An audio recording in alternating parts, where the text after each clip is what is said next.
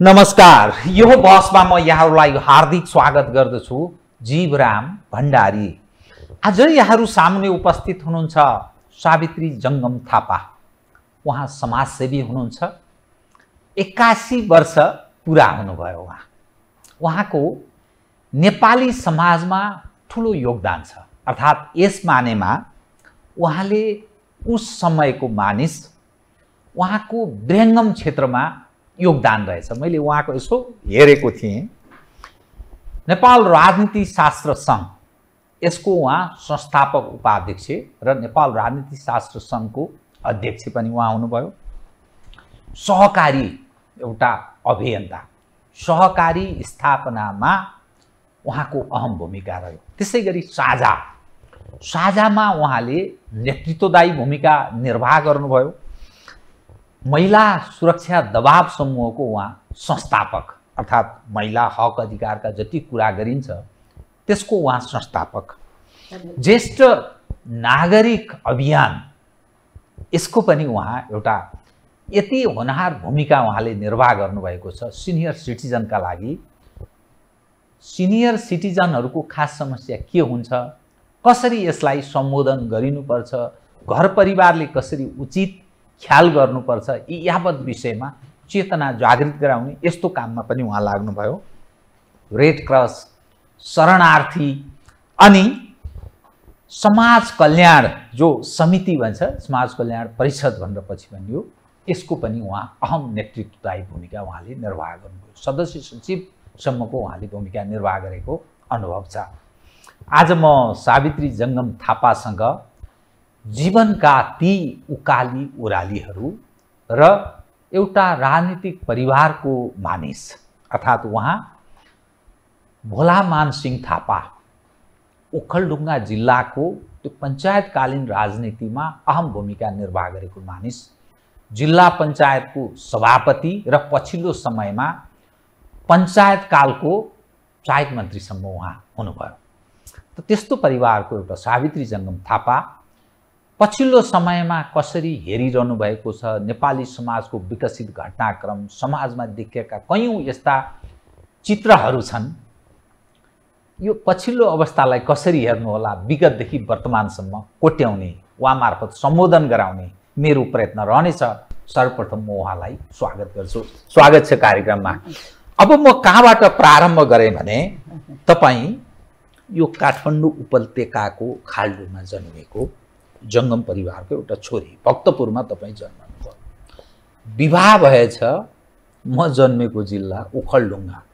ओखलढुङ्गाको पनि खानी भन्ज्याङ शेर्ना भन्ने ठाउँमा तपाईँको श्रीमान अर्थात् भोलामान सिंह थापा बडा प्रसिद्ध व्यक्ति हुनुहुन्थ्यो। असल। यो कहाँबाट तपाईँको यहाँ काठमाडौँ उपत्यकाको मानिस? कहाँबाट उहाँ तपाईँको यो कर्म भन्छ नि? कहाँबाट कसरी विवाह हुनुभयो? तपाईँ यत्रो पढे लेखेको मानिस विक्रमसम्म दुई हजार बिस सालमा तपाईँ राजनीति शास्त्रमा मास्टर्स गरिसक्नुभयो जुन बेला हामीहरू जन्मेकै थिएनौँ। त फेरि विवाह उहाँ भएछ कहाँबाट सुरु भयो? कसरी भयो यो? यहीँबाट सुरु गरे। यो विवाह भनेको पनि एउटा संयोग हो। ललाटम लिखितम भाग्य। हजुर हजुर। एउटा यसको के छ भन्दाखेरि भलमान सिंह थापा नौ वर्षको उमेरमा पढ्न कले उहाँहरू सम्पन्न परिवार उखलको है छोराछोरीहरूलाई पढाउनु पर्छ भने छोरीहरू होइन छोराहरूलाई छोरीहरूलाई चाहिँ होइन। होइन छोराहरूलाई पढाउनु पर्छ भनेर भोलामान सिंहको पिता अर्थात् तपाईँको ससुराले। ससुराहरूले यहाँ काठमाडौँमा घर।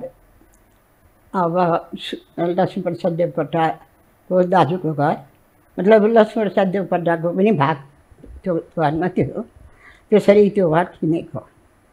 उस बेलै किनेको? त्यो बेलामा। किनेर यहाँ पढ्नु बसेका विद्यार्थी। नौ वर्षको उमेरमा काठमाडौँ आउनु भएको छ। अनि त्यो संयोगले के भन्दाखेरि लक्ष्मीप्रसाद देवकोटाको कान्छो भाइ को श्रीमती मेरो भान्जी दिदी। भान्जी दिदी? मेरो भान्जी दिदी मेरो बुवा हजुरबुवा के अरे उहाँ चाहिँ मामा घरमै हुर्किनु भयो पालन पोषण सबै मामा घरमा भयो हुनाले छोरी सरको बुवाको मेरो पिताजीको उहाँको बिहा भयो। सेकेन्ड वाइफ त्यसपछि देवकोटा परिवारमा घर किनेपछि देवकोटा परिवार छ उहाँहरूको राम्रो हिमचिम भयो। र सोह्र सालमा उहाँ त्रिजन्य कलेजमा पढ्दै हुनुहुन्थ्यो। त्यो बेला लक्ष्मीप्रसाद देवकोटा धेरै शिक्षित हुनुभयो। शान्ता भवनमा राखेको थियो। बिरामी। उहाँलाई रगतको आवश्यक पर्यो। अब। मोराङ हो। डाक्टर मोराङले चाहिँ त्यो बेलाको नाम चलेको डाक्टर बाहिर विदेशी शान्ता भवन त विदेशीहरूले चलाएको अनि ल रगत अब रगत त चलन थिएन ब्लड ब्याङ्कहरू केही थिएन। कसैले दिनुपर्ने हो डाइरेक्ट दिनुपर्ने। दिनुपर्ने। अर्कोमा पास। गराउने रगत। अनि भन्दाखेरि अब उहाँले चाहिँ नि म दिन्छु भोलामान सिंह सोह्र हजुरको श्रीमानले। सत्र वर्षको सत्र अठार वर्षको उमेर ट्युसन कलेजमा पढ्दै हुनुहुन्थ्यो के अरे आइएमा खेपमा पढ्दै हुनुहुन्थ्यो। अनिखेरि उहाँले दिनुभयो। कसैको रगत मिलेन उहाँको मिल्यो। मिलेपछि उहाँले रगत दान दिनुभयो। अनि अलिक बाँच्नुभयो भन्यो नि दुई चार दिन। त्यसपछि फेरि पनि रगतको आवश्यक पर्यो। दोस्रोचोटि पनि म दिन्छु भनेर उहाँले अघि सर्नुभयो। अनि उहाँले बोल्नु भएको छ लास्टमा यस्तो केटाकेटीको रगत लिएर बच्चाको रगत लिएर म कति मलाई कति बचाउँछौ तिमीहरूले लक्ष्मी प्रसाद देवकोटाले बोल्नु भएको भन्नुभयो छ। त्यो बोल्नु भोलामान सिंह थापा उहाँ केटाकेटी यस्तो बच्चाको रगत मैले लिएर ग्रहण गरेर कति दिन बचाउँछौ? यो बक भर्खर हो भने सत्र अठार वर्षको केटा। यो केटा केटीको रगत लिएर म कति भाग्थेँ भन्ने उहाँको लास्टको भर्सन थियो। मैले पनि सुनेँ मैले उहाँ उहाँको श्रीमतीको मुखबाट सुनेँ मैले यो कुरा पछि। तर पछि चाहिँ नि हामी आउ आवाजात राम्रो थियो। उहाँ कविको मृत्यु भइसकेपछि पनि उहाँ झन् आमा मरेर जानुहुन्थ्यो टिका लाउन उहाँ पनि जान्थेँ। अनि कहीँ मान्नुहुन्थ्यो उहाँले नि छोरा मेरो श्रीमानको शरीरमा उहाँको रगत परेको छ मेरो छोरो।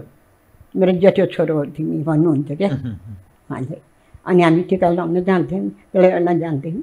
त्यो किसिमको अनि त्यसरी चिना जाने त्यो अनि अर्को चाहिँ अर्को भान्जे दिदी पनि अँ, मेरो फुपाजुको घर दिल्ली बजारमा उहाँले छोरीलाई त्यो घर तिमी तिमी बस्नु भनेर दिनुभएको चिलङ्खे खड्काहरू उहाँ मेजर हुनुहुन्थ्यो मेरो। अनि दिदी चाहिँ नि भान्जी दिदी फेरि मामा घरै हुर्केको दुइटै दिदी बहिनी मामा घरमा हुर्केका अनि फेरि त्यो गर्दाखेरि म त क्याम्पस जाने तिमी दिल्लीमा जानु यसो खाजा साखा खान्थेँ। अनि तल चाहिँ नि उहाँहरू भोलावन सिंह थापाको फुपाजुले दुईजना दाजु साथीहरूले किनिहालेको छ। तल उनीहरू माथि बस् माथि उनीहरू बस्ने तल उनीहरू बस्ने। अनि म बेला बेला जाने आउने। अब उहाँले त्यो देख्नुभयो होला उ गर्नुभयो होला। उहाँ अलिकति स्वाभिमानी अलिक लजालु मान्छे धेरै असल मान्छे हो छोला भल त्यो चाहिँ मैले सुनिरहेको थिएँ। थापा भनेपछि मान्छे देवकोटा एकदम ह्यान्डसम देख्दा पनि आकर्षक व्यक्तित्व अब सबै कुरा स्वभाव पनि अति राम्रो दुखीहरूलाई सहयोग गर्ने असहायलाई आफ्नो के अरे हातको औँठी पनि झिकेर दिने गल्लाको सिटी पनि झिकेर दिने घडी छ भने घडी पनि फुकालेर दिन्थ्यो खाले स्वभाव थियो क्या उहाँको पहिलेदेखिको उहाँको साँच्चै भने मेरो बिहापछि मैले उहाँको हातबाट एउटा ब्लाउज पनि लगाइने आफै आफै उहाँको- ढङ्गले तपाईँ जिउनु भयो। आफैले कमाउनु भयो उहाँको कमाई तपाईँले खानु परेन। त्यसरी स्वभाव देखेर दिदीहरूले खुब मन पराउनु भयो। यस्तो तपाईँको। दिदीले? दिदीहरू। दुइटा भान्जी दिदीहरू सँगसँगै हुनुभयो नि त। दिल्ली बजारमा यो केटा लागेको अनि। आउने जाने उनीहरूको घर एउटै घरमा सेयर गरेर बसे। उतातिर पनि घर यतातिर पनि। त्यसरी धेरै क्लोज भयो क्या जानकारी अब उहाँले मलाई अब गर्नु म चाहिँ समाजसेवा गर्ने मान्छे। अब छोराछोरी भोलि गयो भने पाल्ने मान्छे। अलिक पढे लेखेकै मान्छे बिहा गर्छु भन्ने उहाँको अठोट रहेछ क्या नभन्दै उहाँले जिन्दगीमा कहिले पनि कमाएर छोराछोरी पाल्नु पर्दैन प्रस्ताव तपाईँको तर्फबाट दिदी बहिनी बुवा आमा अथवा उहाँहरूको तर्फबाट? कसरी? उहाँ आफैले भोलामान सिंह होइन थापाले उहाँले आफै आफै भन्नुभयो। होइन, दिदीहरू। दिदीहरूले दिदीहरूको मार्फतबाट माघी विवाह। धेरै मानिन्छ अनि पछि बुवाले ठिकै छ अब केटा असल छन् छन् भने ठिकै छ। अब छोरी यो बिहा आफै छन् छ भन्ने भयो नि त। अनि त्यसरी मालिक विवाह अरूले चाहिँ लभ म्यारेज भन्छन्। प्रेम विवाह होइन विवाह। अँ माघी विवाह। तर उहाँको चाहिँ नि एकदम मप्रति चाहिँ नि उठ्यो। तपाईँ विवाह भएपछि त्यो सानै उमेरमा पनि ओखलढुङ्गा तपाईँको जो खानी भन्ज्याङ सेर्ना भन्ने ठाउँ छ नि तपाईँको श्रीमानको घर त्यहाँ कहिल्यै जानुभयो जान। पटक पटक जानुभयो पटक उहाँको राजनीतिक यात्रा प्रारम्भ भयो भोलामान सिंह थापाको। त्यसपछि पनि तपाईँ सहयोगी भएर उहाँ बस्नुभयो जानुभयो आउनु सुन्नुहोस् यहाँ कस्तो इन्ट्रेस्टिङ कुराहरू छ कि? अब यो लामो छ। एकदम छोटकरीमा भन्नु होला। तपाईँसँग विविध। विषय खोतल्छु बिहा भयो बिहा भएको तेह्रै दिनमा उहाँ ओखलडुङ्गा जानुभयो। तेह्र दिनमा दिनमा। ओखलढुङ्गा जानुभयो। जानुभयो। किन जानुभयो? अब से भएन अब यहाँ काम भएन। अनि बिहेको जात दिनुभएको थियो होइन? अनि त्यो छोडेर जानुभयो। अब एक पेपर बिग्रिहाली छ। यो जात दिनु भन्दाखेरि दिन आउनु भएन। आउनु भएन उहाँले के भयो भने अब मै सुपलाएर यहाँ किन बस्ने आफ्नै जिल्लामै सेवा गर्छु भन्ने भावना भएछ उहाँलाई। उहाँ जानुभयो। जानुभयो। जानुभयो। त्यसपछि म त रेड क्रसमा काम गर्ने सुरु प्लेनमा जानुभयो कि के थियो उपाय त्यस बेला जानु? म म जाँदाखेरि बताउँछु तपाईँलाई। त्यसपछि त्यो म चाहिँ बिहा भइसकेपछि म रेड क्रसमा काम गर्थेँ। मैले भने सरकारसँग मेरो धेरै क्लोज अब त्यो क्लोज हुनुको कारण पनि के भन्दाखेरि दुई हजार उन्नाइस सालमा प्रिन्सेप शाह माइली महारानी सरकार शान्ति सिंह अधिराज कुमारी जेठी। छोरी राधेको मैले छोरी शारदा ती तिनजना अधिराज कुमारीहरूले बिहेको जाँदिने। अब बेला राज परिवारलाई त अरूले गर्नु भएन अनि फेरि फेरि राजा महेन्द्र धेरै लिबरल पनि हो राजा अब उहाँले के गर्नुभयो भने छोराछोरीलाई अरूसँग मिक्स गराउनु भयो क्या साधारण जनताहरूसँग अब बिहा पनि उहाँले त्यस्तै साधारण ठकुरीका छोराहरूलाई बिहा गरेर। दिनुभयो इन्डियामा दिनु भएन इन्डियाबाट पनि ल्याउनु भएन छोराहरूलाई पनि यहीँको राणाहरूको छोरी बिहा गरिदिनु भयो होइन? राजा महेन्द्र राजा महेन्द्र देशभक्त त्यो देशभक्त सोच नै छ। सोचको मान्छे। अनि खै होइन यहाँ दरबारमा नगर्ने स्कुल कलेजमै उसले जहाँ चाहिँ छ त्यहीँ नै जाँदिनु जानुपर्छ। तर सेक्युरिटी त चाहियो भने पनि बेग्लै गोठामा उहाँहरू तिनजना अध्यराजको माइला राखेर अनि त्यो बेलामा को राख्ने इङ्ग्लिसले त चाहियो नि गार्ड। भने आइमै नै चाहियो। भने म त पढ्दै थिएँ युनिभर्सिटीमा लास्ट इयर। अन्तिम वर्षमा पढ्दै थिएँ। मलाई चाहिँ नि त्यहाँ अब प्रिन्सिपलले भनौँ न त्यो बेलाको उसले कुलपति उपकुलपति उहाँले ल सावित्री तिमी जाऊ सरकारहरूको उसमा भनेर मलाई पठाउनु भयो। म गएँ है। अब उहाँहरू तिनजना त्यहाँ त्यो बेला आठ दस दिन म क्लोजली उहाँहरूको गरेँ। अब त्यसमा त्यहाँ चिट सिट चोर्ने ओर्ने सिकाउने के थियो? अब राजाका छोरीहरू परिवार अधिराज कुमारीहरू चाहिँ एकदम भलादुई शान्ति र शारदा है अर्थात् राजा महेन्द्रका छोरीहरू। उहाँ चाहिँ बुहारी भयो मैले बुहारी हिमालयको श्रीमती प्रिन्सेप शाह होइन?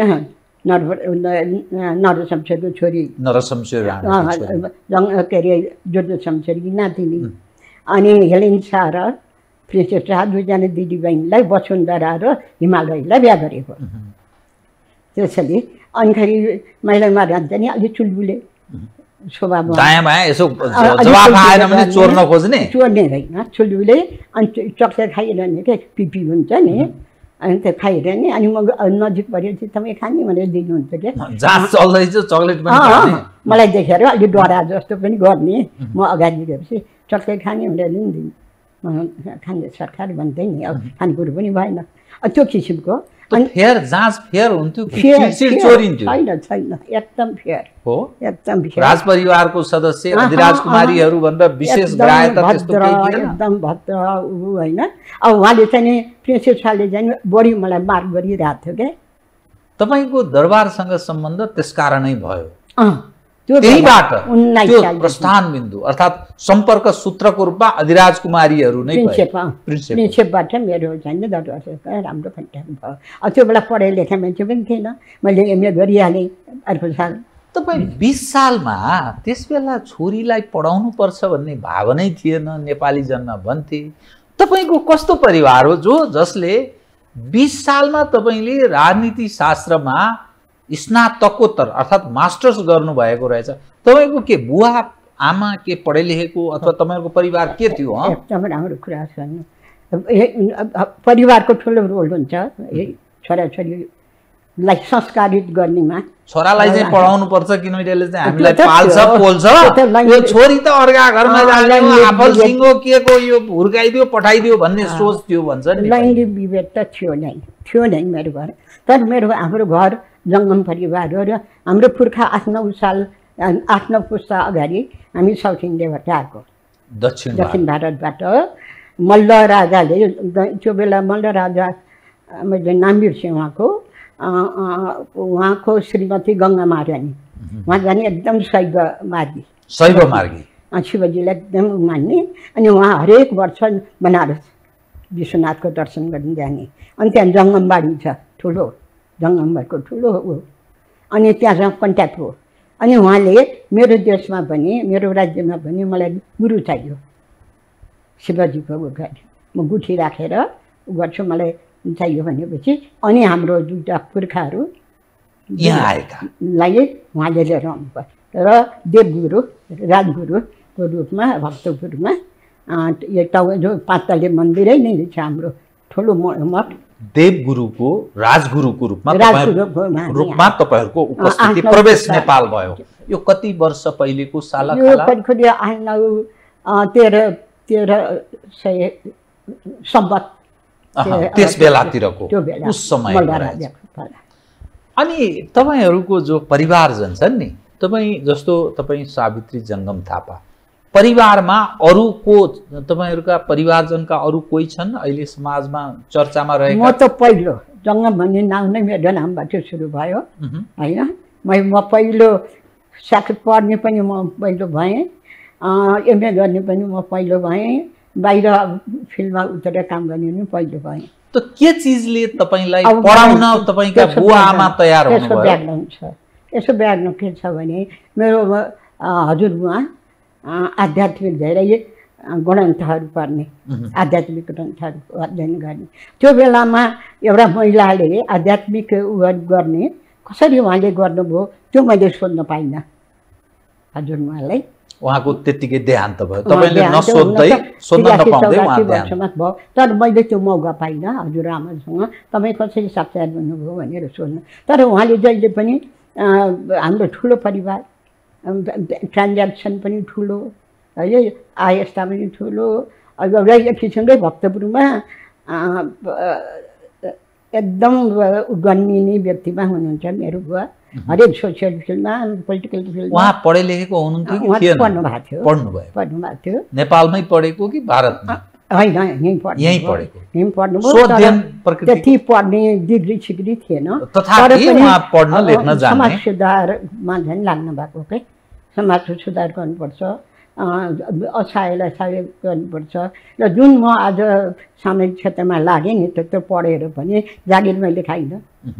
खाइनँ मैले। कहिले खाइनँ। अब राजा महेन्द्रले मलाई चाहिँ पोलिटिकल साइन्समा एमए गरेको व्यक्ति तिमी परराष्ट्र मन्त्रालयमा काम गर। भन्दाखेरि पनि म सरकारी जागिर चाहिँ खान्न भने। सरकारी जागिर खान्न मलाई समाज सेवा गर्ने मन छ भने। अ, सरकारले हाँसी बग्छ्यो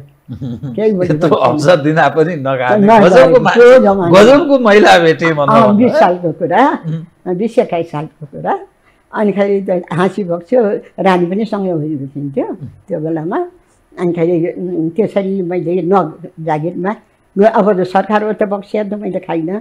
अब मैले त पसक लडेर जा- खाने कुरो पनि भएन। फेरि म एकैचोटि ठुलो जिम्मेवारी पद लिएर काम गर्न थालेँ। उन्नाइस सालदेखि नै।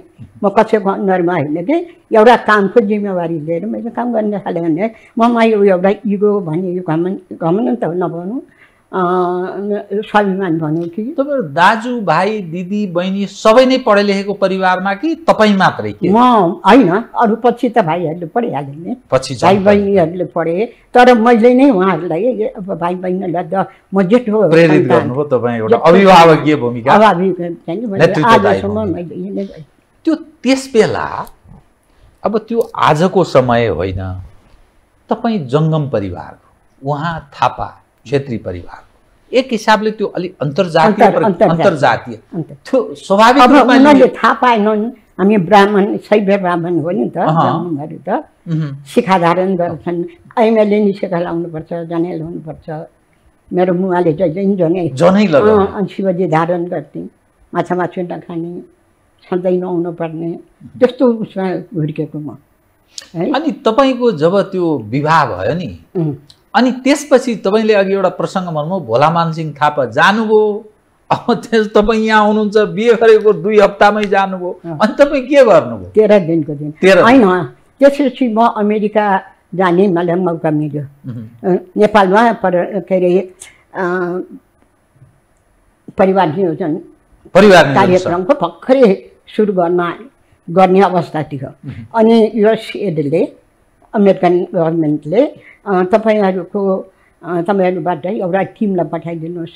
हाम्रो अमेरिकामा यो चाहिँ परिवार नियोजनको चाहिँ अध्ययन पनि गर्छन् र त्यहाँ हेर्छन् पनि निरीक्षण पनि गर्छन् भनेर निमन्त्रणा गर्यो।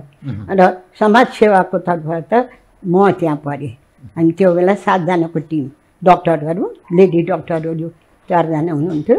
अनि गभर्मेन्टको दुईजना उसबाट थिए। म चाहिँ नि रेड क्रस त्यो बेला त रेड क्रस अझै माथिल्लो लेभलकै संस्था सुरुको संस्था भयो नेपालमा थिएन अर्गनाइजेसन अनि म नै पढ्ने भएँ अनि म जाने भएँ बिहा गरेको त्यही दुई तिन महिना पछि म हिँडिहालेँ अमेरिकातिर म अमेरिका जाने भएपछि अब त्यो बेला चिठी पत्र पठाउने थिएन।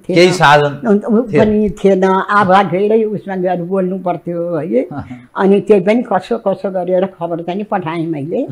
अब जाने दुई तिन महिना तिन महिनाको प्रोग्राम थियो मेरो अमेरिकाको पच्चिस सालमा। म यता जाँदैछु भनेर खबर चाहिँ पठाउनु। आभा मार्फत पठाइदिनु छ उहाँ थाहा पाएपछि आउनुभयो। काठमाडौँ आउनुभयो। आउनुभयो। अनि त्यसपछि म गएँ है त्यो त्यसपछि म गएँ तिन महिनापछि तिन महिना त उहाँ त्यो उहाँ त फेरि फर्किहाल्नुभयो ओखलढुङ्गा चाहिँ नि उहाँको एकदम जिल्ला छोराछोरी श्रीमती भन्दा नि प्यारो।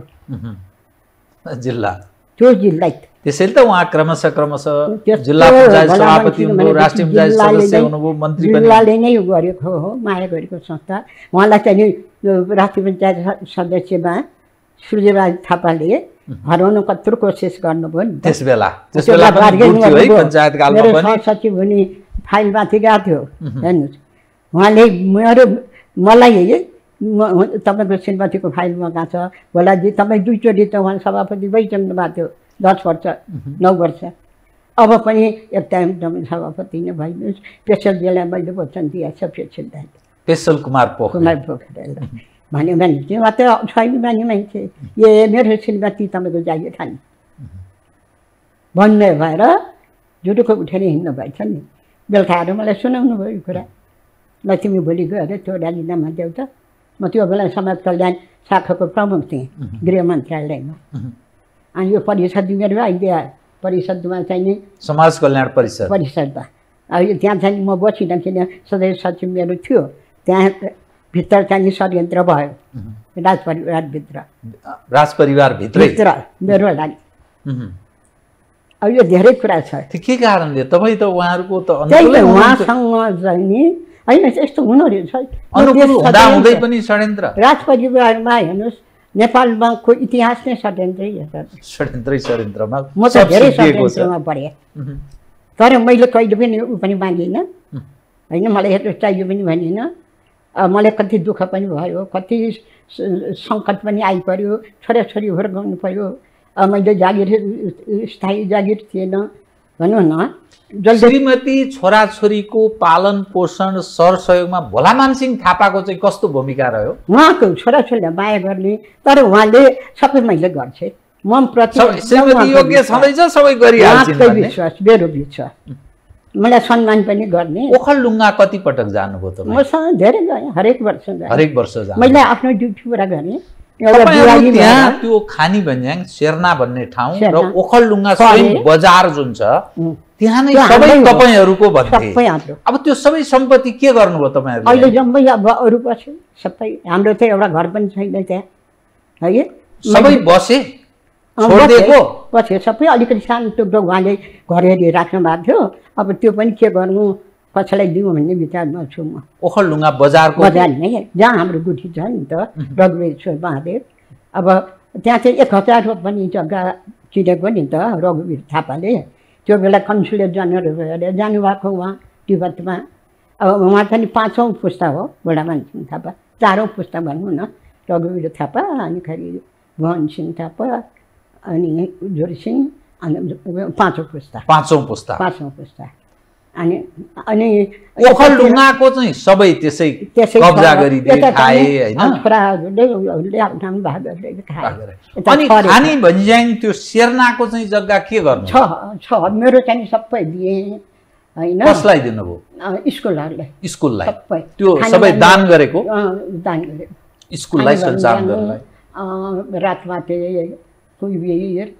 अँ, महाविद्यालय भयो नि यिनीहरू पछि अब काजीले नै सुरु गरे हो खाने है अब उहाँको त्यो शिक्षा अब पैँतिसजनाले त उहाँले पढाएकै हो पढाएर हिँड्ने समय कसैले त एमए पनि गरे उहाँले सभापति हुँदाखेरि मैले यहाँबाट टिकट पठाउनु पर्थ्यो सभापति अब राजनीति गरेर पैसा कमाउन सकिँदैन उहाँले। होइन उहाँ उहाँको विषयमा त बोलेका छन् हाउसमा रूपचन्द्र विष्टले बोल्नुभयो नि त्यो रिकर्ड होला काहीँ। यस्तो व्यक्ति पनि यो यो ठाउँमा छ। समाज सेवा पञ्चायत कालको के रेकर्ड राख्छन् यहाँ भएको चिज त सबै रिकर्ड के? थियो है?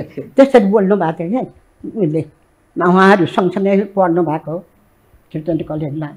राधेश्याम कमारो उहाँ पनि मन्त्री हुनुभयो। उहाँ पनि वामपन्थी पृष्ठभूमिबाट रूपचन्द्र विष्ट रूपचन्द विष्ट मामा- राधेश्याम मामा कमारो यी हुनुहुन्थ्यो। सबै अब किन उहाँको आमा थापाको छोरी रहेछ। अनि काजीलाई भडावनलाई मामामा मलाई माइती भन्नुहुन्थ्यो। अनि खै त्यो अनि उहाँले त्यो बोल्नु भएको छ क्या कसले मलाई सुनायो? बमकुमारीबाट आज उहाँले यस्तो बोल्नुभयो उहाँको विषयमा भनेर के भने मैले त त्यो। अब तपाईँको जो जीवनमा छ नि जसरी भोला मानसिंह थापासँग तपाईँले विवाह गर्नुभयो त्यसपछि तपाईँको योगदानको यहाँ म यसो तपाईँको पृष्ठभूमि हेरेँ विगतमा तपाईँले गरेको योगदान राजनीति शास्त्र सङ्घको तपाईँ अध्यक्षसम्म हुनु सहकारीमा तपाईँले यत्रो अहम भूमिका नेतृत्वदायी भूमिका निर्वाह गर्नुभयो। साझामा यो स्वास्थ्य सेवा अन्तर्गत तपाईँ त्यो त्यत्तिकै भूमिका निर्वाह गर्नुभएछ। त्यसपछि महिला सुरक्षा दबाव समूहमा तपाईँ नेतृत्वदायी भूमिका निर्वाह तपाईँको त्यसको। संस्था ज्येष्ठ नागरिकमा पनि तपाईँको रेड क्रसमा समाज कल्याण समितिमा। परिषद यी यावत जो देखिन्छ नि यो सब यसो हेर्दाखेरि नि अब तपाईँ एक्कासी वर्ष नाग्नुभयो तपाईँले आफ्नो जीवनसाथी पनि गुमाउनु भयो जीवनको उत्तरार्धकालमा मैले बुझेअनुसार उहाँलाई अलि डिमेन्सिया प्रकृतिको अलि अल्जाइमर केही भयो होइन? तपाईँ ज्येष्ठ नागरिकको हकको कुरा हुन्छ सुरक्षा महिला सुरक्षा दबाव समूहमा तपाईँ यसरी काम गर्नुभयो। यो अहिलेको अवस्था हेर्दा र विगत र अहिले यसो तुलना गर्दा के फरक पाउनुभयो? त यो अहिले नयाँ पुस्ताले यो जान्नुपर्छ सिक्नुपर्छ बुझ्नुपर्छ। तपाईँको अनुभव सुनाउन। सुन्नु न। म एउटा म मैले लाइफमा म मेरो आफ्नो जीवनसँग म असाध्यै सेटिस्फाइड छु सन्तुष्ट सन्तोष मैले यही राष्ट्रको लागि परिवारको लागि समाजको लागि मैले धेरै योगदान दिएको छु धेरै सहयोग गरेको छु धेरै सेवा गरेको छु त्यसमा मलाई चाहिँ मेरो भित्री आत्माले मलाई सधैँ धन- धन्यवाद त त्यो समाजका लागि तपाईँले जे गर्नुभयो नि जसका लागि जे जे गर्नुभयो होला। त ती मानिसहरूले यसो सम्झन्छन् पनि कि ओहो तपाईँ त यसो गर्नुभएको थियो। तपाईँहरू यस्तो परिवारको मान्छे। कसैले सम्झिन्छ तपाईँ? सम्झिनु। यो देशमा यो देशमा सम्झिनु आज यो यो अवस्था हुन्थ्यो। देशको। सम्झिँदैनन्। सम्झिँदैन। पुरानो कुरा आयो गयो सकियो। त्यो माइनस के? कोही मान्छेले राम्रो गर्यो भने त्यो राम्रो भन्दैन। किन म माइनस हुन्छु भनेर? प्रशंसा गर्दैन। साँचो कुरो बोल्दैन। बोल्दैन। झुटो बोल्छ मलाई कहिले चाहिँ कसैले पनि म अहिले भर्खरै यो नेपालीकै रोग हो यो। अहिले यो नेपालीकै हो। यो दुई एक दुई वर्षदेखि मैले त बोल्नु पर्ने रहेछ। यत्रो कुरो लुकेर अब म त असीको लगभग पनि बेला मेरो श्रीमानको नि डेथ हो होइन फेरि मलाई एउटा ठुलो सेटिस्फ्याक्सन के भयो भने मेरो श्रीमानलाई बयालिस साल अल्जाइमर होइन होइन? उहाँलाई बयालिस सालको बम काण्डमा उहाँ भर्खरै मन्त्रीबाट हट्नु भएको थियो। राष्ट्रिय पञ्चायत सदस्य हुनुहुन्थ्यो। बम काण्ड भयो। यहाँहरूलाई थाहा छ। त्यो बम काण्डमा भोलिपल्टदेखि हाउस सुरु हुने। उहाँ जाने तिन चारजना साथीहरू पहिले नै नाम लेखाउनु जानुभएको थियो। म त्यो बेला स्वास्थ्यको जिएम थिएँ। मैले नै अब मेरो भोटर उहाँलाई त्यहाँ छोडिदिएँ म आज त्यहाँ जानेछु मलाई छोडिदियो भन्नुभयो। मैले अब उहाँलाई ढोकामा छोडेर म फर्केँ। अफिसमा आएँ।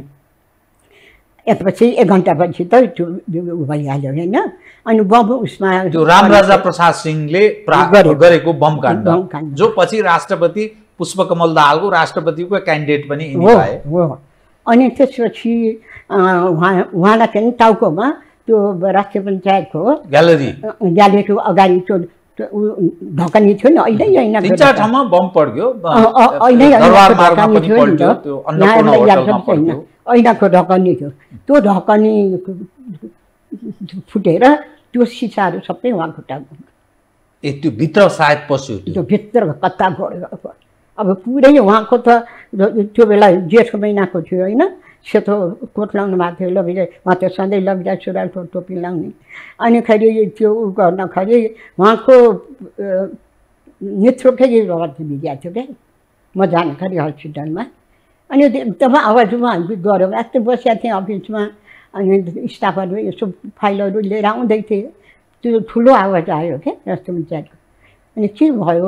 कत्रो भयो? कहाँ के भयो भने सोधेँ मैले। मेरो मन खुर्र गऱ्यो मेरो श्रीमानलाई लगाएर हेर्नु। कस्तो भगवान् थियो एउटा नि। अनि मेरो मन अलिक डरायो। अनि मैले स्टाफहरू थिएँ अफिसरहरू। मैले होइन त्यो के अरे उ फुट्यो उ भयो गाडी हजुर भने। अनि खेरि पछि त त्यो भएछ यसरी उहाँको जो भएको अल्झाइमर होइन। चार पाँच वर्ष चाहिँ उहाँ जीवन जो एउटा जीवन साथी गुमाउँदाको एउटा पीडा हुन्छ नि या कस्तो महसुस हुँदो रहेछ? हुन त उहाँ र म धेरै बस्नै पाएनौँ। उहुँ। उहाँ जलदैनी जिल्ला है म यहाँ। यहाँ यहाँ साह्रो म हरेक वर्ष एक महिना चाहिँ घरमा जान्थेँ। उहीँ। ओखलडुङ्गा ओखलडुङ्गा ओखलडुङ्गा जान्थेँ।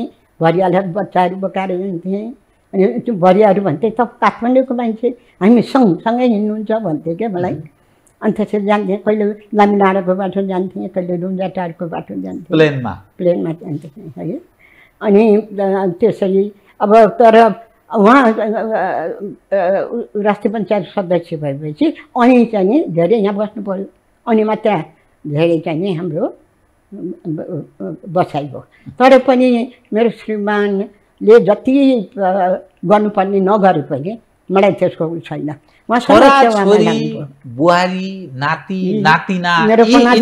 पनाति यिनीहरूबाट तपाईँ यो यो जीवनको जो एउटा ज्येष्ठ नागरिकको बारेमा तपाईँ एडभोकेसी गर्नुहुन्छ त्यसको एउटा अभियन्ता पनि हो ज्येष्ठ नागरिकको हकितको पनि कुरा गर्नुहुन्छ जीवनमा नि कतिको दुःख सुख के हुँदो रहेछ सिनियर सिटिजन हिजोका दिनमा तपाईँको जुन खालको एउटा नेतृत्वदायी भूमिका थियो अब त दाँत पनि फुक्ले आँखा कम देखिन्छ। कान कम सुनिन्छ केही गर्न सकिँदैन यस्तो बेलामा चाहिँ के आवश्यकता पर्दो रहेछ परिवारजनले कसो गरून् भने जस्तो लाग्दो रहेछ अब- के गर्दा रहेछन् कस्तो महसुस हुन्छ सुन्नु यो पनि। अचम्म छ यो पनि लामो छ। एकदम संक्षिप्तमा एक घन्टाले त्यो न- एकदम संक्षिप्तमा भन्नुहोस् भन्दा तपाईँसँग अर्को मैले पच्चिस सालमा जब अमेरिकामा गएँ नै पहिलो छुटेँ मैले त्यहाँ सिनियर सिटिजन ज्येष्ठ नारीको बिजोग देखेँ। बिजोग त्यो बिजोगले मलाई धेरै हट गर्यो। मैले सोचेँ अब हाम्रो हाम्रो देशमा पनि अब यो स्थिति आउन सक्छ। किनभने अब ओपन ऊ भइसक्यो आउने जाने भइसक्यो होइन? छोराहरू अब सबै विदेश जान थालिसके भनेपछि अब नेपाल पनि आउँछ भनेपछि मैले दुई हजार तेत्तिस सालमा यो समाज कल्याण शाखा खोलेर गभर्मेन्टको उसमा। यता परिषद पनि सुरु भयो है। बडामरानी सरकारको अध्यक्षतामा। यतातिर गभर्मेन्टमा चाहिँ गृह पञ्चायत मन्त्रमा समाज कल्याण शाखा सुरु भयो। म त्यसको इन्चार्ज भएँ। भएर यो हन्डीहरू बाँध्ने छ सात ठाउँमा गभर्मेन्टले चाहिँ गरिब गुरुवाहरूलाई पालेको थियो। लङ्गरा लुला लङ्गराहरू। यस्तो छवटा ठाउँमा देशको विभिन्न ठाउँमा थिए। त्यो सबैलाई मैले समाज कल्याण केन्द्र नाम गर्नु पहिले लङ र खाना अदालय पक्षलाई के के नाम थियो क्या ए ती दुःख पाएका मानिसहरूलाई दिने भने सरकारको तर्फबाट भनेको हामीले तर्फबाट पैसा। दिने जो अहिले यो ज्येष्ठ नागरिकलाई भत्ता भने जस्तै हो। त्यसरी चाहिँ नि ठाउँ ठाउँमा घर बनाएर राखेको थियो क्या गभर्मेन्टले त्यसलाई मैले समाज- दिन दुखीलाई अँ दिन दुखीहरूलाई अनि त्यो चाहिँ सबै गरेर अनि पहिलो वृद्धाश्रम पञ्चदेउलमा पाँच यो पक्षलाई त्यसलाई मैले चाहिँ नि वृद्धाश्रममा कन्भर्ट गरेर। मैले सुरु- सालमा तेत्तिस सालमा। तेत्तिस सालमा। मैले सुरु गरेँ। त्यो बेलामा बडा सरकारले मलाई क्वेसन गर्नु सावित्री यो किन तपाईँले वृद्धाश्रम सुरु गर्नुभयो? किनभने हाम्रो कल्चरले दिँदैन। त संस्कारले हुँदैन, हुकुम भयो क्या। मैले उहाँलाई कन्भिन्स गरेँ। सरकार हामीले रोकेर रोकिँदैन अब समय चेन्ज आइसक्यो। छोराछोरीले हेर्दैन। कुनै दिन आवश्यक पर्छ। संस्थागत चाहिँ सब चाहिन्छ। भनेपछि बनाउनु छ कन्सर्ट त्यस्तो उहाँलाई बस सोचगत छ त्यो कि उनीहरूले किन तपाईँले सोच गर्नु अहिले ज्येष्ठ मदर तेरेसालाई मैले इन्टर गराएँ। प्रवेश अब तेत्तिस चौ चौतिस पैँतिस सालमा मलाई त्यसको पनि विरोध आयो। ल्याएर चाहिँ धर्म विरोधी यस्तो काम गर्दा कति आउँछ रे? अब यो सबैलाई मैले पचाएँ किनभने म सही ठाउँमा थिएँ नि त? त्यसरी भयो। त्यसै वृद्धाश्रम सुरु भयो। यो अहिले घर घरमा समस्या। घर घरमा मेरो समस्या छ तपाईँको समस्या सबैको समस्या। तपाईँ आफै एउटा पढे लेखेको है बिस सालमा राजनीति शास्त्रमा एमए गरेको मानिस। तपाईँ आफै पनि त्यो ज्येष्ठ नागरिक भएको नाताले कैयौँ ठाउँमा हेपिनु भएको छ समाजमा वा घर परिवारमै पनि छैन। छैन। छैन किनभने। मैले मलाई थाहा छ भोलि सबैको अब नपढेको नलेखा मान्छेहरू मान्छे हुन्छ सबै गर्ने छोराछोरी हो। छोराछोरीले पाल्छन्। आफू नखाएर नि छोराछोरीलाई दिने त्यो छ नि हाम्रो होइन? त्यस्तो मान्छेलाई बढी हुन्छ। मैले त्यो पहिल्यै थाहा थियो कि मलाई छोराछोरीबाट मलाई हुँदैन। किन उनीहरूको आफ्नो भर गर्नु हुँदैन। गर्नु सकिन्छ तर भर। चाहिँ छोराछोरीको। आफै सक्षम हुनुपर्छ। हो माया गर्छन्। मेरो सम्मान गर्छन् माया। आश गर्ने भर नपर्ने। मैले त्यो क्षमता विकास त्यो गरेँ र म आफ्नो हातमा मैले मेरो जीवन एकदम सिम्पल छ। मेरो खर्च पनि त्यति म गर्छु। महत्वाकांक्षा धेरै नराख्ने। अस्वाभाविक खर्च नगर्ने। जति छ मैले अहिले कोषहरू धमाधम स्थापना गर्दैछु सेवा कोषहरू वृद्धहरूको लागि। महिलाहरूको लागि ठाउँ ठाउँमा केटाकेटीको लागि श्रीमान तपाईँ त त्यो क्षमता राख्नुहुन्छ तपाईँको पारिवारिक पृष्ठभूमि सबल छ आर्थिक हिसाबले नि सम्पन्न हुन्छ तर जो अधिकांश जो नेपाली जनको अवस्था छ नि त्यो ज्येष्ठ नागरिकको अवस्था चाहिँ कस्तो पाउनुहुन्छ तपाईँ? एकदम एकदम दयनीय छ। एकदम अनि लोक कल्याणकारी राज्य भनिन्छ समाजका उनीहरूको भूमिका कस्तो छ? त्यो जुन उ दिया छ नि भत्ता दिया त्यो भत्ता लिन पनि महिलाहरूले त्यो बुढाबुढीहरूले पाएको छैन। त्यो बिचको मान्छेले खाइदिएको छ। छोराछोरी, नाति नातिना अथवा। यसै वडा अध्यक्ष, सदस्यहरू चाहियो र मैले यसमा खर्च गरेँ। म दिउँला नि भन्यो त्यसरी पनि त्यस्तो हो। अनि छोराछोरीले नलिने आफू जानुपर्ने घन्टौँ घन्टौँ कहिले के पुगेन। कहिले के भने दुःख। मैले भने पनि तपाईँले होइन दुःख दिने होइन नि त बुढाबुढीलाई। के गरिनुपर्छ? तपाईँको सुझाव चाहिँ के छ? एउटा ज्येष्ठ नागरिक। एउटा अभियन्ता घरमा लगेर बुझाउनुपर्छ। घरमा गएर हो त। जानुपर्छ। राज्यको ड्युटी हो नि त। सिनियर सिटिजनलाई हिजो उसको रगत पसिनाले राज्य बनेको छ नि त। आफ्नो क्षेत्रबाट एउटा किसानले पनि त योगदान पुर्याएको छ। एउटा प्रहरीले पनि योगदान पुर्याएको छ राष्ट्रको लागि। अब तपाईँसँग म कहाँ केन्द्रित गर्छु तपाईँको ध्यान भने नि? तपाईँ समाज कल्याणको क्षेत्रमा काम गरेको। हो। त्यो समाज कल्याण जस्तैको नाममा अहिले एनजिओ आइएनजिओहरू नेपालमा त्यो समाज कल्याण परिषद भन्छ नि त्यस मार्फत काम गरिरहेका छन्। कैयौँ मानिसहरू प्रश्न उठान गर्छन् उनीहरू नेपालीहरूको ओपिनियन उल्ट्याउने अर्थात् विभिन्न सेमिनारहरू गर्ने अलिअलि पढे लेखेका मान्छेहरूलाई मतिभ्रष्ट बनाउने समाजलाई दिग्भ्रमित गर्ने अनेकौँ अधिकारका नाममा लागि पर्ने र समाजको आफ्नोपन ध्वस्त बनाउने अभियानमा लागेको उनीहरूमाथि आरोप औँलो ठड्याउँछन् मानिसहरू। तपाईँको नजरमा नि यो समाज कल्याणको नाममा जे जति गतिविधि एनजिओ आइएनजिओहरू समाज उत्थानको लागि भनेर जो काम गरेका छन् उनीहरूको भूमिका कस्तो देख्नुहुन्छ? यो साँच्चै आलोचना गरे जस्तो छ कि छ? अब सुन्नुहोस्। त्यसमा म पर्दिनँ। मैले त्यहाँबाट तलब खाइनँ। मलाई जुन जिम्मेवारी लिएर साझामा बसेँ करिब करिब मैले यो बिस पच्चिस वर्ष चाहिँ नि कमाएँ भनौँ न। पैसा त्यो बेला रेड क्रसले के दिनु सक्थ्यो र हामीलाई भत्ता उ जस्तो के अरे यातायात खर्च जस्तो हुन्थ्यो है।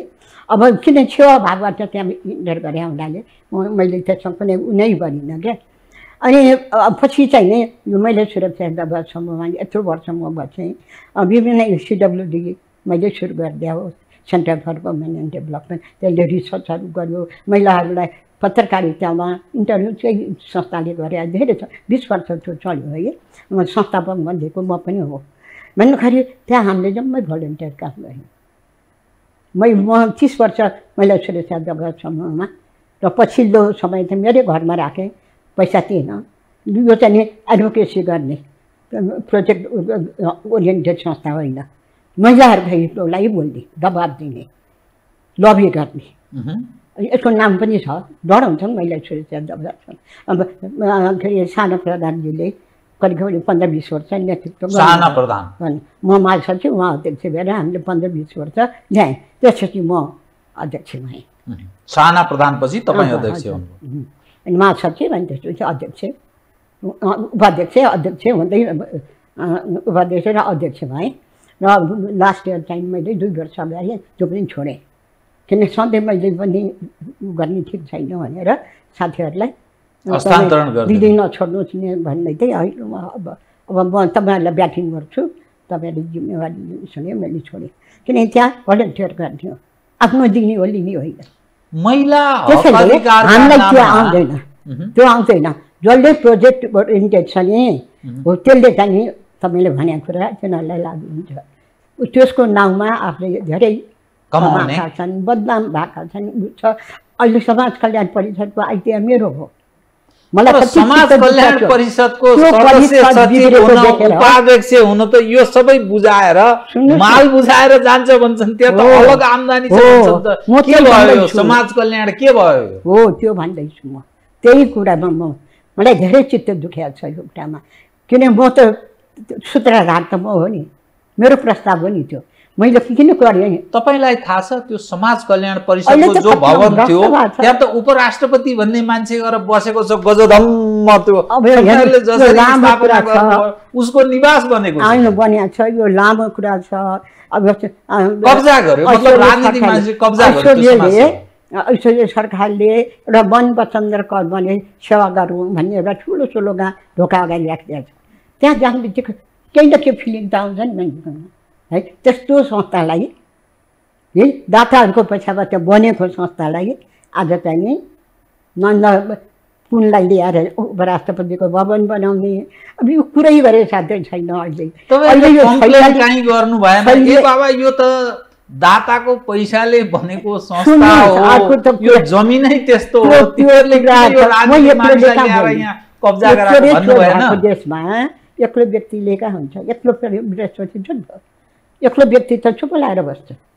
आज तपाईँले बोल यति उठाउन मैले बोल्न कर लाएर बोल्दैछु म। त्यस्तै गरेर साझा केन्द्रीय बोर्ड अहिले सहकारी विकास बोर्ड यो चाहिँ विश्वबन्धुहरूको उहाँको श्रीमती बम कृ- अरे बम हाम्रो कृष्णबहादुर बम कुलशेखर शर्मा युद्धबहादुर श्रेष्ठहरूको पैसाबाट स्थापना भएको। त्यो त्यसलाई चाहिँ सरकारीकरण गर्नु मिल्छ त्यत्रो अरबौँको सम्पत्ति अहिले साझा जगदम्बा महारानीले त्यत्रो साझालाई दिएको साझा यातायातलाई साझा केन्द्रीय बोर्डलाई जसमा चाहिँ राजा संरक्षक महेन्द्र त्यसमा कल्याणकारी अधिकृत गरी इन्टर गरेको उन्नाइस साल के भयो त त्यो साझा त्यो आज हेर्नुहोस् त यो सम्पत्ति सबै साझा उसलाई अझ साझा यातायात कहाँ गयो? अहिले साझाको कसले खायो? के? अहिले सहकारी विकास बोर्डको नाममा सम्पत्ति सबै उसले त्यहाँ सहकारी विकास बोर्डमा लगेर गयो। गाडी दिए। गभर्मेन्टमा गएको छ भन्नै हुँदैन। मलाई विश्वबन्धुजीले भन्नुभयो एक दिन भयो। सावित्री हेर यस्तो यस्तो अन्याय। गर्यो। अब कसले बोल्ने? अब तिमी यसलाई के गर्छौ? म बुढो भएँ। भन्नुभयो क्या? हुन पनि म एक्लोले मलाई सबै कुरा थाहा छ त्यहाँभित्र। यस्तो इलिगल नेपालमा इतिहासको केही हिसाब किताब छैन। तत्काल तत्काल लुट्ने खाने मसँग। धेरै इतिहासहरू छ म त राज परिवारको धेरै भित्रको कुरा पनि थाहा पाउँछु। र म काम गरेर अगाडि आएको अनुभव प्राप्त गरेको व्यक्ति। र मैले कुनै ह्याङ्की प्याङ्की पैसाको उ पनि नगरेको व्यक्ति। म बोल्न उ पनि मसँग बोल्ने आधार पनि छ। है त्यसैले अब बोल्नुपर्छ जस्तो लागेर तपाईँहरूले बोल्दा बेलामा म चट्ट आइदिएँ। बडा राम्रो गर्नुभयो। अब तपाईँको अहिले जो सहकारीका नाममा अनेकौँ यो अहिले लुटपाट छ फेरि। साझाको तपाईँले कुरा साझामा लुटपाट सहकारीमा लुटपाट अब राजनीतिक मानिस लुटपाट। यो सहकारीको चाहिँ कस्तो छ त? तपाईँ एउटा सहकारीमा पनि जोडिएको व्यक्ति। साझाको त यसको उद्देश्य विपरीत कहाँ छ। यसलाई रोकेको। चोरै चोरहरू हेर्नुहोस्। पैसाको लागि सबै बिक्या छ यहाँ। होइन? अब यति भ्रष्ट यति भ्रष्ट हरेक फिल्ड भ्रष्ट छ। सबै चाहिँ नि राजनीतिकरण हरेक संस्थाहरू राजनीतिकरण साझाहरू जस्तो संस्थामा सबै राजनीति कार्यकर्ताहरू भर्ती भएको छन्। खान? है? खानलाई? राजनीतिको नाममा पैसा कमाउने?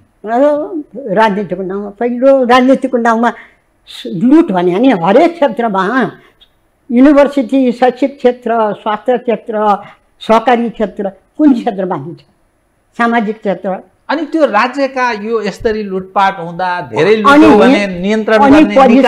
सुन्नुहोस्? न परिषद समाज कल्याण परिषद जस्तो पवित्र ठाउँमा त्यहाँ झन् एउटा झोला कार्यकर्तालाई अध्यक्ष बनाउने ठाउँ हो झोले कार्यकर्तालाई त पैसो कमाउने कुन। उद्देश्यले मैले सुरु गरेँ कुन उद्देश्यले मैले सुरु गरेँ मलाई पो थाहा थियो त त्यसको काम के थियो यसले के गर्न खोजेको थियो यसको आवश्यकता किन भयो त्यो त मलाई थाहा छैन त रेड क्रसको चाहिँ के छ स्थिति रेड क्रस जुन हो, रेड क्रस जुन महत्त्वका लागि एघार वर्ष म पनि रेड क्रसमा बसेँ कस्तो देखिन्छ अहिले रेड क्रसको भूमिका एउटा डेस्कबाट सुरु गरेको हामीले अहिले कस्तो छ अहिले त भ्रष्ट।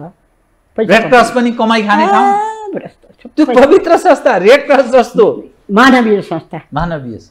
म त एघार वर्ष त तिबेटन रेफ्युजिजहरू छ लाख छ हजार तिबेटन रेफ्युजिजहरूलाई दुई हजार बाइस सालमा मैले सेटल गरेँ रेड क्रसबाट चारहमा सोलुको झल्याखमा यहाँ जब्लेखेलमा पोखरामा र ह्याङ्गेन अनि यो तपाईँ? महिलाहरूको कुरा गर्नुहुन्छ नि महिलाहरूको अवस्था चाहिँ कस्तो देखिन्छ? महिलाको कुरा गर्दा? अब चेतना आएको छ। महिलाहरूमा एउटा अलिकति इम्पावर भइरहेका छन् महिलाहरू। त्यसको नाममा दुरुपयोग पनि भएको छ म बोल्दैछु म बोल्दैछु। चेतना त आयो। अधिकारको लागि बोल्ने भए हामी अधिकारको लागि पनि लड्यौँ। अब अधिकार बढी पनि भयो कि जस्तो नि लाग्छ? मर्यादा आफ्नो अनि हरेक कुराको मर्यादा हुन्छ। लक्ष्मण रेखा नाग्नु हुँदैन। हो महिलाको लक्षण रेखा महिला नाग्नु हुँदैन।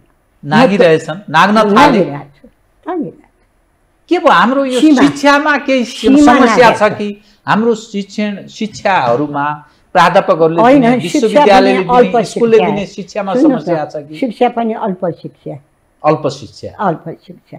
अल्प शिक्षा त डर लाग्दो हुन्छ। अल्प ज्ञान भयङ्करम। हो।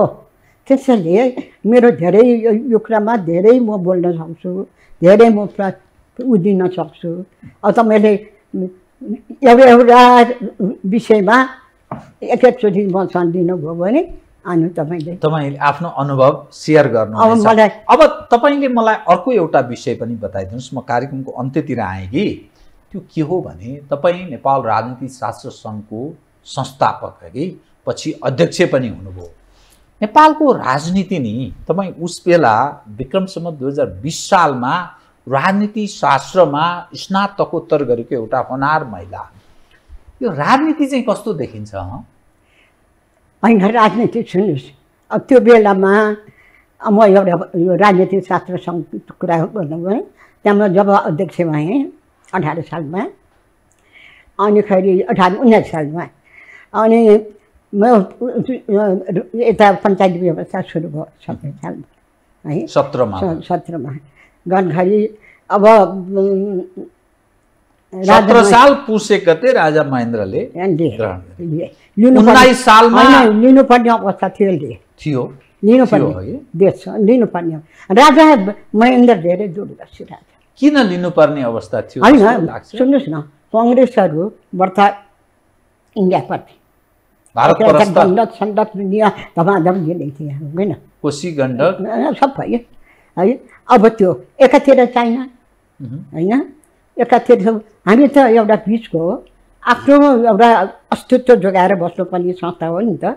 महेन्द्रले त्यो किसिमको सोचाइ थिए र महेन्द्रले एउटा असंलग्न आन्दोलन उसमा चाहिँ संलग्न भएर आफ्नो एउटा छवि त बने जग्गा थियो इन्टरनेसनल छवि।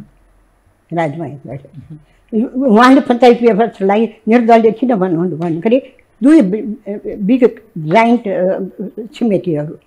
दुई विभिन्न व्यवस्था। है? भने यसलाई ब्यालेन्स कसरी मिलाउने? भने। असंलग्न हामी कसरी बस्ने? हामी पावरफुल कसरी हुने? त्यो भन्दाखेरि असंलग्न आन्दोलन तर अन्ततोगत पञ्चायत पनि छयालिसमा गयो राज संस्था पनि यहाँ आइपुग्दा गयो कस्तो लाग्छ त अब? अहिलेको अवस्था चाहिँ टुप्पा टुप्पा कुरा गरेर होइन तथापि अब सुन्नुहोस् न यसमा यो यसमा एउटा म इन्ट्रेस्टिङ कुरा के सुनाउँछु भने राजा महेन्द्रले पञ्चायत व्यवस्था गरेपछि यो व्यवस्थालाई कसरी चाहिँ नि मोर पपुलर बनाउने जनताको सेवामा कसरी यसरी ठुल्ठुलो गरे नि उनले भूमेश्वरार जस्तो यत्रो क्रान्तिकारी होइन राजा 21 रजौता।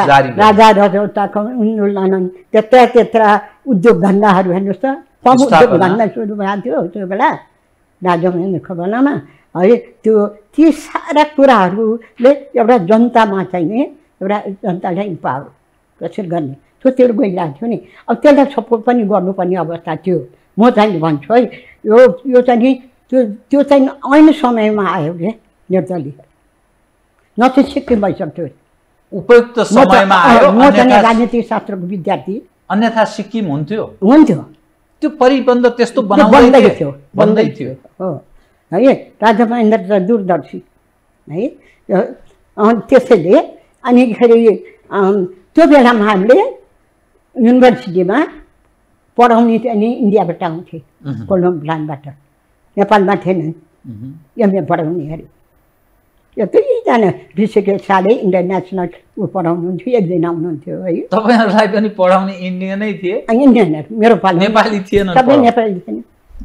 आइएमा म पढ्न खोजेँ एकजना बिहारी प्रिन्सिपल हुनुहुन्थ्यो कमला सिद्धाबनी प्रिन्सिपल हुने मान्छे थिएन नेपाल के त हाम्रा भारत। महाने भन्थे? त्यो बेला पढाउँदै त्यही भन्थे? होइन थिएँ होला नि।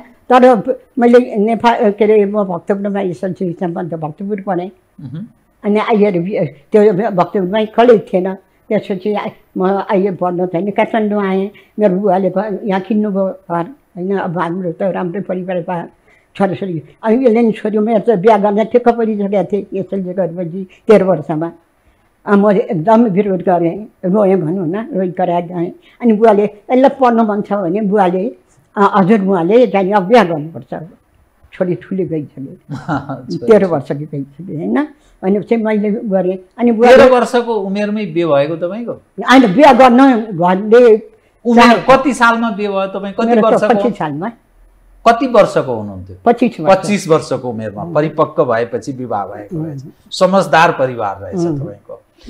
अब एक मात्रै जवाफ दिनु होला। यो अहिलेको यसो अवस्था हेरी ल्याउँदा नि अहिलेको स्थिति हेर्दा के लाग्छ त तपाईँलाई? यस्तै चल्छ कि एउटा तपाईँको ब्रह्मले चाहिँ राजनीति शास्त्रको एउटा चल्दैन यहाँ किनै एउटा ऊ चाहिन्छ। होइन राष्ट्रप्रति जनताप्रति देशप्रति प्रेमै छैन। चल्दैन देशप्रति प्रेम होइन देश नरहे त हामी रहँदैनौँ। है तपाईँले जति पैसा कमाउनुहोस् राष्ट्रलाई बेचेर होइन जनता जनतालाई मारेर त्यो पैसाले तपाईँलाई सुख त दिँदैन तपाईँ बाहिर जानु होला दुई चार दिन रमाइलो गर्नु। आखिर त तपाईँ यही देशमा आउनुपर्छ। यही देशको तपाईँलाई माया लाग्छ। तपाईँको स्वाभिमान लाई बचाउने हो भने यही देश तपाईँ आउनुपर्छ।